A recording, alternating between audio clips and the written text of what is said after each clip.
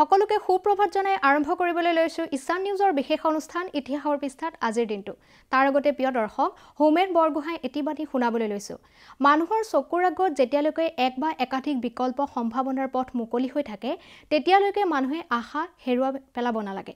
প্ৰিয় দৰ্শক আজি ইংৰাজী দুহেজাৰ বাইছ চনৰ চৌবিছ ফেব্ৰুৱাৰী অসমীয়া লেখেৰে ঊনৈছশ তিৰাল্লিছ শকৰ ফাগুন মাহৰ এঘাৰ তাৰিখ বৃহস্পতিবাৰ।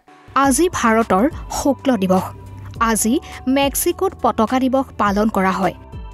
তেৰশ তিনিত ৰছলিনৰ যুদ্ধ অনুষ্ঠিত হয়। তেৰশ চিৰাশীত নেপলছ আৰু হাংগেৰীৰ ৰজা তৃতীয় চাৰ্লছক বুদাত হত্যা কৰা হয়।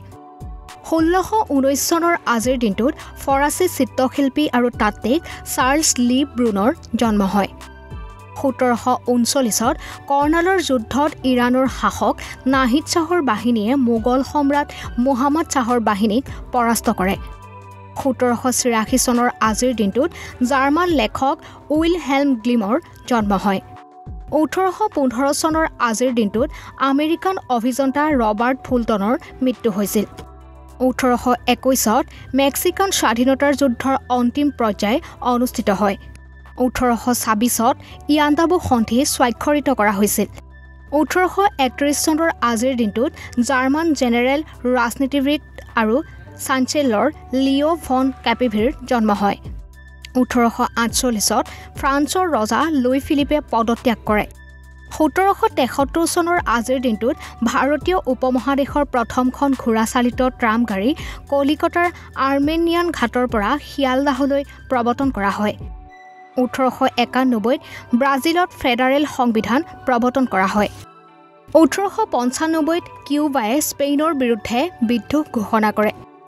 ঊনৈছশ চৈধ্য চনৰ আজিৰ দিনটোত আমেৰিকান জেনেৰেল আৰু ৰাজনীতিবিদ মেইনৰ বয়ত্ৰিছতম গভৰ্ণৰ জিহুচুবা চেম্বাৰলেইনৰ মৃত্যু হয়। ঊনৈছশ ওঠৰত এস্তোনিয়াৰ স্বাধীনতা ঘোষণা কৰা হয়। ঊনৈছশ বিছত নাৰ্জী পাৰ্টীৰ গঠন কৰা হয়। ঊনৈছশ পঁচিছ চনৰ আজিৰ দিনটোত নবেল বঁটা বিজয়ী ছুইডেন ৰাজনীতিবিদ আৰু প্ৰধানমন্ত্ৰী কাৰ্ল য়ালমাৰ বেণ্টিঙৰ মৃত্যু হয়। ঊনৈছশ সাতাইছ চনৰ আজিৰ দিনটোত ইংৰাজ উকিল আৰু ৰাজনীতিবিদ এডৱাৰ্ড মাৰ্চেল হলৰ মৃত্যু হয়।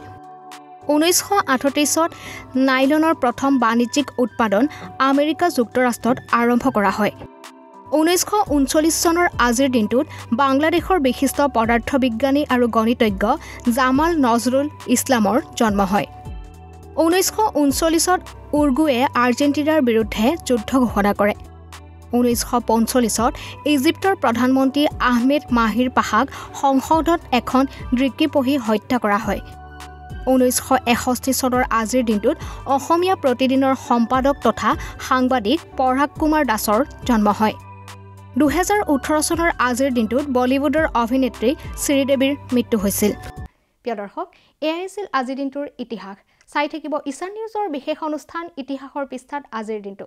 ধন্যবাদ।